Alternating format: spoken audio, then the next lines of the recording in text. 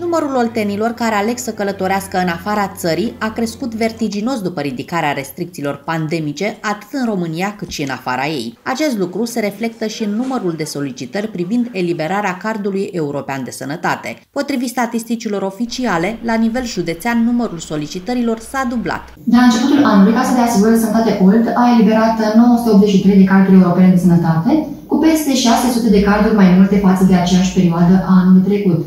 Cardul european se obține în urma unei cereri adresate case de asigurări de sănătate, cerere ce trebuie să fie însoțită de copia actului de identitate și dovada calității de asigurat. Aceste documente pot fi transmise prin poștă, pe adresa de mail, prin fax sau depuse la ghișeu.